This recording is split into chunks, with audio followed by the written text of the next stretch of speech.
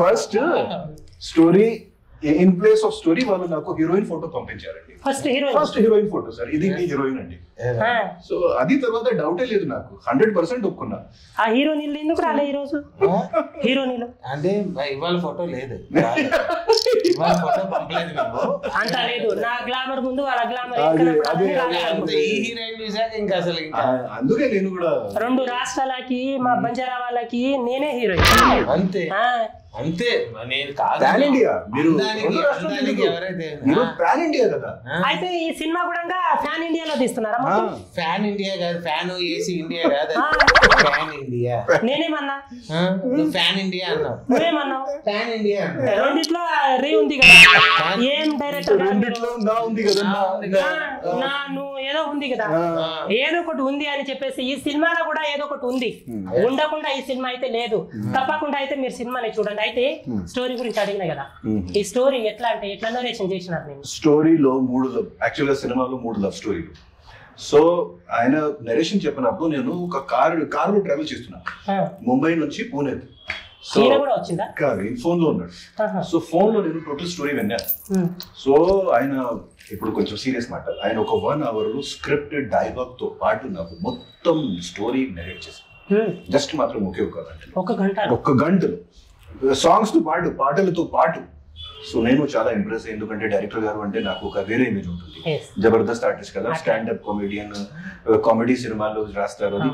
కానీ emotional story ఎంత emotion ఉంది సినిమాలో ఎంత deep love stories it is slice of life too much all beautiful philosophy అండి. Amazing. Hats off sir hat లేదు కానీ hats off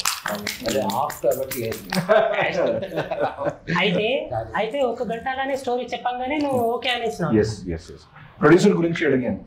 producer first cinema okay కొత్త బ్యానర్ కొత్త producer. మీకు ఏ డేట్స్ కావాలండి? అది అన్ని అడిగాను. అది అన్ని సెట్ అయింది. ఒప్పుకున్న cinema.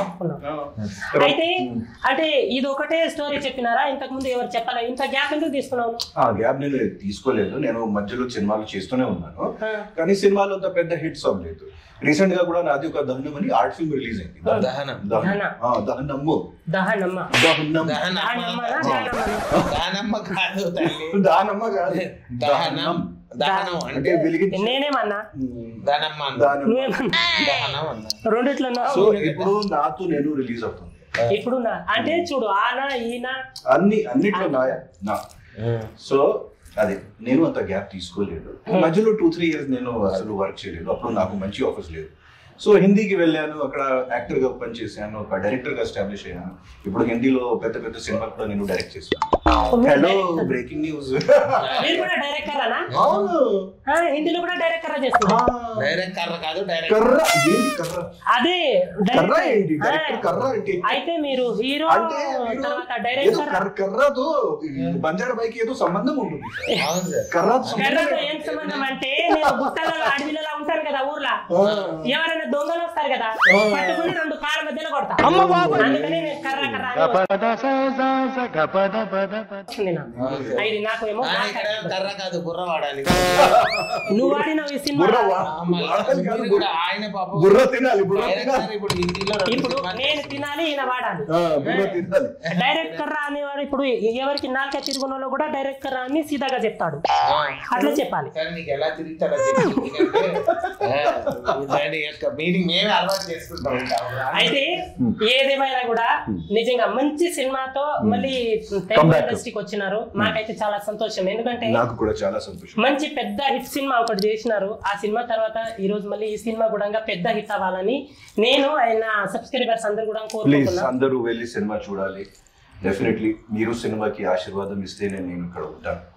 So we need your blessings తప్పకుండా ఇస్తారు తప్పకుండా నాతో నేను సినిమా చూడాలి. నా కోసం డైరెక్టర్ గారి కోసం సాయి కుమార్ గారి కోసం సాయి శ్రీనివాస్ గారి కోసం అందరి కోసం. అదే. సాయి సార్ అంటే గుర్తు వచ్చింది నాకు ఆ సినిమాలో డైలాగ్ ఉంటది కదా ఒకటి. Police story. పోలీస్ స్టోరీలా? ఏమన్నా డైలాగ్ ఉంటది? అది ఏంటి ఆ డైలాగ్ గుర్తు రావాలి నాకు? కనిపించి మూడు సింబాలు చట్టానికి న్యాయానికి పది రూపాయలు చెప్పండి సార్. అదే చట్టానికి న్యాయానికి ధర్మానికి. పది రూపాయలు అయితే కాదు అది. ప్రతి రూపాయలు. నేనేమన్నా? మీరు మీరు ఒక్కసారి సాయి కుమార్ గారు స్టైల్. చేయండి ఎలా ఒకసారి డైలాగ్ చెప్పారు? చూడండి. నా నెత్తి మీద కనిపించే మూడు సింహాలు నీతికి న్యాయానికి ధర్మానికి ప్రతిరూపాలైతే కనిపించని నాలుగో సింహం ఏమో ఈ పోలీస్. పోలీస్. సూపర్ కనీసం ప్రతి రూపాయలు. నమస్కారం. ఆ, బంజారా బాయి. అయితే ఇప్పుడు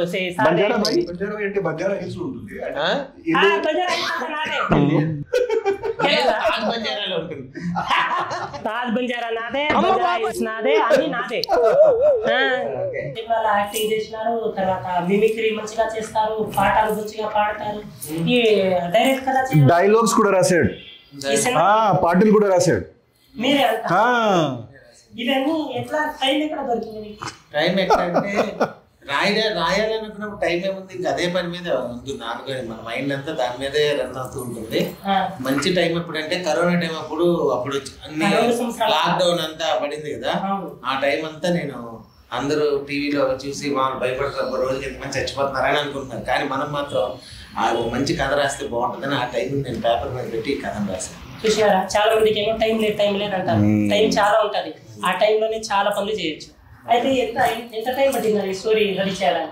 స్టోరీ పట్టింది నాకు మూడు నాలుగు నెలలు. ఎందుకంటే డైలాగులు వాటికి తగ్గట్టుగా మా మళ్ళీ సీన్స్ రాసుకోవాలి డైలాగులు రాసుకోవాలి దానికి తగ్గట్టు పాటలు వాటి ట్యూన్స్ ఇవన్నీ దగ్గర ఉంటారు. కానీ నా కథలో అంటే నేను యాక్చువల్గా మ్యూజిక్లో డిప్లొమా చేస్తున్నాను నేను. సో కాబట్టి నా సంగీతం మీద పాటల ఏ రచన మీద కొద్దిగా అవగాహన ఉంది. సో కాబట్టి నా సిచ్యువేషన్లో నా కథ ఎలాంటి పాట డిమాండ్ చేస్తుంది అనేది నాకు తెలుసు. కాబట్టి అలాంటి పాట మనం రాసి ఎందుకు రాయకూడదు? ప్రయత్నం చేసి చూద్దాం అని చెప్పి రాసాం స్టోరీకి తగ్గట్టుగా రిలేటెడ్గా పాటలు బాగా వచ్చినాయి. వాటికి మంచి ట్యూన్ కూడా కట్టుకోవడం జరిగింది. మ్యూజిక్ డైరెక్టర్ గారు వినిపించినప్పుడు చాలా బాగున్నాయి అన్నారు ఇంకా ఆయన కూడా కొన్ని చిన్న చిన్న మార్పులు చేర్పులు చేసి ఆయన కూడా మంచి సంగీతాన్ని అందించారు. ఈ సినిమా. పాట లేదు రెండు మూడు పాట మూడు పాటలు ఉన్నాయి కదా? మొత్తం ఐదు ఐదు ఐదు పాటలు. పాటలు రిలీజ్ అయినాయి ఎంత అద్భుతంగా ఉన్నాయి పాటలు. పాటలు పాటలు మొత్తం మీరే ఒక పాట రామజోగే శాస్త్రి గారు రాశారు. అది సార్ చేసింది మంచి వైరల్ అయింది ఆ సాంగ్ అది. ఏ పాట అది? ఓసిని ఓసిని రామ్సిల్ ఒకసారి పాడరా డైరెక్ట్ గారు కొంచెం ఇవ్వండి. ఓసిని వయ్యారి రామ్సిలక వద్దన వస్తానే నీ వెనక. గుండెలో మోగిందే చచ్చనక. అమ్మాడు నా ప్రేమను కాదనక అసలు ఆ పాటలో ఎంత మంచి మీనింగ్ ఉన్నది తెలుసా? రంభా సుందరి. అన్ని మీకోసమే. అన్ని మీకోసం మీకు చూసి మీకు తెలియకుండానే మీరు డాన్స్ చేశారు చూసారా? అంటే ఆ పాటలో థియేటర్లో జనాలు కూడా ఈ పాట విని అంత ఉర్రూతలుగా గుంగాడి ఎందుకంటే మా జనాలు కూడా ఎట్లాంటి వాళ్ళంటే స్టోరీ మంచిగా ఉన్నది పాట మంచిగా ఉన్నది అనుకో తీసుకెళ్ళి అక్కడ చందమామ అదే కాదు. అది వాళ్ళ అభిమానం కోసం ఇప్పుడు మీతో ఈ ఇంటర్వ్యూ కానీ మేము పడ్డ కష్టం. Twenty first July cinema release అవుతుంది. ప్లీజ్ తప్పకుండా అందరూ చూడాలి. అందరూ చూడాలి సినిమా. ఎందుకంటే ఈ సినిమా అలాంటిది ఉంది. అంటే ఆ సినిమాలో ఏదో ఒకటి ఉంది అనేది మీరు ట్రైలర్ లానే చూపించినారు మొత్తం. అయితే మ్యూజిక్ ఎవరు చేసినారు? దీనికి సత్య కశ్యప్ గారని కొత్త ఆయన ఇంత కొత్త కాదు ఇంత ముందు చేస్తున్నారు ఆయన. రావణాలంకి బ్యాక్గ్రౌండ్ స్కోర్ చేశారు. ఉమ్. ఆ తర్వాత భారతీయన్స్ అని ఒక దాంట్లో ఒక సాంగ్ చేశారు. అట్లా ఆ తర్వాత వీరప్పన్ ఆ, అనే దాంట్లో ఒక పాట చేశారు ఆ తర్వాత ఐస్ క్రీమ్ అని ఒక రామ్ గోపాల్ ఆ, ఆర్జీవీతో. ఆర్జీవీ. స్కూల్. దాంట్లో ఒక సాంగ్ చేశారు. అట్లాగా డిఫరెంట్గా ఇప్పుడు ఆ తర్వాత మొన్న మధ్య వచ్చింది అది సావిత్రి వైఫ్ ఆఫ్ సత్యమూర్తి. సినిమాకి మొత్తం ఈయన సత్యకృష్ణ తర్వాత నూతిలో కప్పలు అని ఓటీటీలో రాజేంద్ర ప్రసాద్ గారి మూవీ సో ఇవన్నీ ఉన్నాయి సో ఆయన కూడా మంచి మ్యూజిషియన్ ముంబై. ఆయన ఉండేది. మన తెలుగు ఈ విషయం నాకు తెలుసు తెలీదు. తెలీదు. సత్య సత్యకశ్యప్ గారు ముంబై ఉండేది. ముంబై ఉండేది. అయితే బేసిక్ ఇక్కడ కూడా ఉంది ఒక ఇల్లు బట్ అయితే ఇక్కడ చూసినప్పుడు ఆ ఉంటారు మేము ఎక్కువగా ముంబైలోనే ఉంటుంటాం అక్కడ ఉండి పనులన్నీ చేస్తుంటారు. ఆ, ఈ రికార్డింగ్స్ ఇవన్నీ అక్కడే. సో మన సినిమాకి కూడా సాంగ్స్ ఇవన్నీ కూడా ఇచ్చాము అక్కడ తీసుకు గీతా మాధురి గారు కూడా ఒక పాట పాడినట్టున్నారు కదా మా సినిమాలో పాడిన పాటల సింగర్స్ అందరూ కూడా మంచి బ్రాండెడ్ సింగర్ అంటే తెలిసిన ప్రజలకు బాగా పరిచయం ఉన్న సింగర్స్ అనమాట అందరూ శ్రీకృష్ణ గారు కానివ్వండి అలాగే గీతా మాధురి గారు కానివ్వండి జావేద్ అలీ. జావేద్ అలీ గారు కార్తిక్ గారు దివ్య మాలిక. సింగర్ అలాగే మన సాయిదేవ హర్ష. పెద్ద పెద్ద సినిమాలు. అంటే ఈ సినిమాల కూడా చాలా పెద్దదే దీంట్లో మంచి కాస్ట్యూమ్ ఏంటి? సాయి కుమార్ గారు ఉన్నారు సాయి కుమార్ సార్ని ఆ. అసలు సాయి కుమార్ సార్ని ఎందుకు తీసుకొచ్చాం ఈ సినిమాలో? బలవంతంగా. బలవంతంగా. ఎలా తీసుకొచ్చావంటే బలవంతంగా. అంటే చెప్పి. ఆయనకి స్టోరీ నేను ఎందుకంటే ఆయన సినిమా చూసిన ఒక్కొక్క డైలాగ్ చెప్తే కొట్టినట్టు ఉంటది. అట్లా ఉంటది. అంటే మీ స్టోరీ కంటెంట్ వచ్చే మా కంటెంట్కి ఆయన యాప్ట్ అవుతారు. ఆయన వాయిస్ అవన్నీ కూడా మనకు ప్లస్ పాయింట్ అవుతాయని మేము అందరం టీం అనుకొని అది కాక సార్తో మాకు ఇంత ముందు కొంత జర్నీ ఉంది నాకు. యాక్చువల్ నేను ప్రోగ్రామ్స్ చాలా చేస్తున్నా సార్. ఆయన వెళ్ళి కథ చెప్పంగానే ఆ కథ విన్న ఫస్ట్ సిట్టింగ్లోనే ఆయనకు బాగా నచ్చి ఒప్పుకున్నారు. కథ మేము చేస్తాం సో కాబట్టి సార్ ఇంకా ఎక్కడ కూడా అంటే అంటే వేరే ఆలోచన మంచిగా కథ నాకు చాలా బాగా నచ్చింది మనం చేద్దాం అని చెప్పి ఒప్పేసుకున్నారు. ఆ రోజు నైటే మళ్ళీ ఫోన్ చేసి స్క్రిప్ట్ కూడా ఇచ్చాను ఆయనకి బయోడెట్ స్క్రిప్ట్ అది చదివి డైలాగ్ చాలా బాగున్నాయా? ఇంకా చదువుతూ వెళ్తాను ఆల్రెడీ ఇంతవరకు చదివాను ఇప్పుడు దాకా కొద్దిగా. ఇప్పటి వరకు డైలాగ్ కూడా చాలా బాగున్నాయి. అని మెచ్చుకున్నాను అంటే ఒక యాభై ఏళ్ళ ఎక్స్పీరియన్స్ ఉన్నటువంటి ఒక నటుడు. అలా ఫోన్ చేసి "నా బాగుందని చెప్పడం అనేది అక్కడే నాకు ఒక మంచి దాని ఏమంటారు కాన్ఫిడెన్స్ ఒక ధైర్యం అంటే ఎన్ని సినిమాలు చేసినారు ఆయన. పెద్ద పెద్ద వచ్చి చేశాడంటే వల్ల ఇంకా ఒక యాభై శాతం ముందుకు వెళ్ళిపోయింది సినిమా. ఆయన చాలా దీంట్లో మంచి ఇన్వాల్వ్ అయి చేశారు సార్.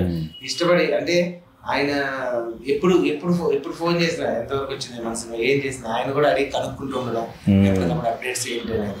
సో సార్ చాలా ఇన్వాల్వ్ అయ్యారు ఈ సినిమాలో.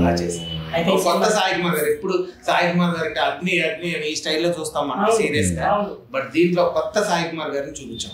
నాకు ఆయన ఇట్లా అంటాడు కదా. అది నాకైతే అట్లా చూసి నేను భయపడుతున్నాను.